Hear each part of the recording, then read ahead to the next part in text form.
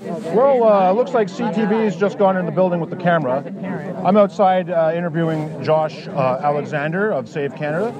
Josh, how are you today? Not too bad yourself. It's good to see you. So, uh, what brings you out today? Well, uh, we're here from the uh, members of the community and uh, just Canadian citizens in general, uh, representing uh, what we believe in and uh, standing in opposition to everything that happens inside that building. That's a uh, violation of one, uh, my female peer's privacy and uh, just uh, regular, um, uh, everyday like grooming that happens inside the education system. I understand. How's the crowd been treating you so far? Since I see that they've definitely turned up the volume. Yeah, they have.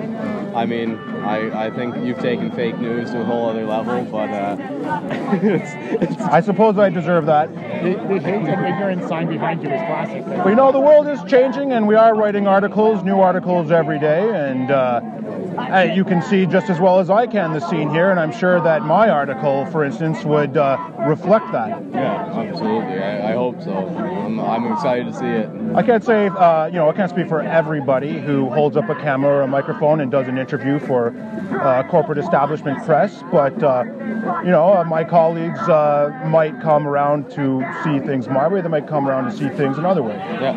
What would you like to see? Well, I'd like to see the truth. I think I think uh, the uh, and uh, honest reporting is important in our country, especially in a time of uh, uh, cultural war crisis. Cultural crisis. Now, do you think you would ever end up in journalism to set the record straight? I actually just got an offer, but uh, we'll see. I don't know. Might end up from there. Well, I don't think I'll be working with CTV though, Well, I don't think. Uh, unless unless of course you got like some uh, mentorship program going on. you know what? There's maybe there's something we can do about that, perhaps.